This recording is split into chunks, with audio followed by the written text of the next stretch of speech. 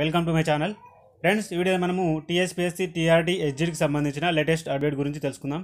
అంతకంటే ముందుగా మీరు మన ఛానల్ని ఇప్పుడు మొదటిసారి చూసినట్లయితే తప్పకుండా సబ్స్క్రైబ్ చేసుకోండి. ఇంగ్లీష్ మీడియం ఎస్జీటీలుగా ఐదు వందల యాభై తొమ్మిది మందికి ఆర్డర్లు. పాఠశాల విద్యాశాఖ కమిషనర్ విజయ్ కుమార్ వెల్లడి. ఈ న్యూస్ అయితే మనకు నమస్తే తెలంగాణ న్యూస్ పేపర్లో రావడం జరిగింది. ఎస్జీటీ ఇంగ్లీష్ మీడియం పోస్టుల భర్తీ కోసం నిర్వహించిన కౌన్సిలింగ్కు ఐదు వందల యాభై తొమ్మిది మంది హాజరయ్యారని పాఠశాల విద్యాశాఖ కమిషనర్ విజయ్ కుమార్ తెలిపారు. వీరంతా పోస్టింగ్ ఆర్డర్లు తీసుకొని పాఠశాలలో రిపోర్టు చేశారన్నారు. కౌన్సిలింగ్కు ఎనిమిది వందల ఇరవై మూడు మందికి అవకాశం ఇవ్వగా ఏడు వందల అరవై ఒకటి మంది దరఖాస్తు చేసుకున్నారని వివరించారు. రెండు రోజుల పాటు నిర్వహించిన కౌన్సిలింగ్కు ఐదు వందల యాభై తొమ్మిది మంది హాజరయ్యారని వారందరికీ పోస్టింగ్ ఆర్డర్లు ఇచ్చినట్టు తెలిపారు. దరఖాస్తు చేసుకున్న వారిలో రెండు వందల రెండు మంది హాజరు కాలేదని చెప్పారు.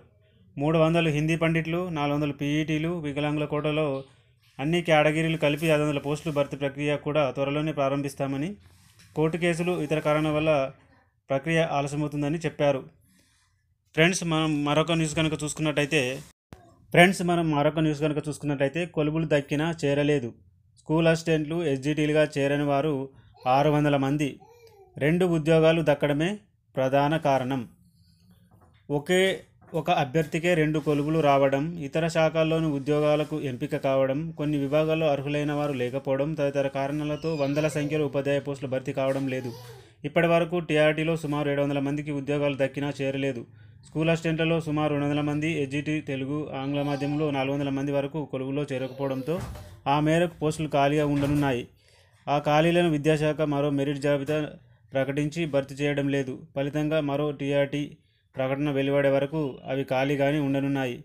తాజాగా ఎస్జిటి ఆంగ్ల మాధ్యమం కొలువులకు ఏడు వందల అరవై ఒకటి మందికి ఐదు వందల యాభై తొమ్మిది మంది మాత్రమే చేరడం గమనార్హం. అంటే రెండు వందల రెండు మంది ఉద్యోగాల్లో చేరేందుకు ఆసక్తి చూపలేదు. అయితే నోటిఫికేషన్లో ప్రకటించిన పోస్టులు చివరకు చేరిన వారి లెక్కలు చూస్తే ఇప్పటివరకు పదిహేను వందల ఉద్యోగాలు ఖాళీగా ఉన్నట్లే. వీటికి తర్వాత మరో మెరిట్ జాబితా ప్రకటించి భర్తీ చేయాలని కొందరు అభ్యర్థులు కోరుతున్నారు. పంచాయతీరాజ్ లాంటి శాఖలో ఈ విధానాన్ని పాటిస్తున్నారని వారు ఉదహరిస్తున్నారు. ఫ్రెండ్స్ ఇది టీఆర్టీ టీఎస్పీఎస్ టీఆర్టీకి సంబంధించి లేటెస్ట్ అప్డేట్ ఈ టీఆర్టీకి సంబంధించిన ఎటువంటి అప్డేట్ వచ్చినా వెంటనే మీకు అందించడానికి ప్రయత్నం చేస్తాను. అందుకోసం మన ఛానల్ని సబ్స్క్రైబ్ చేసుకోండి. వీడియోని లైక్ చేసి షేర్ చేయండి.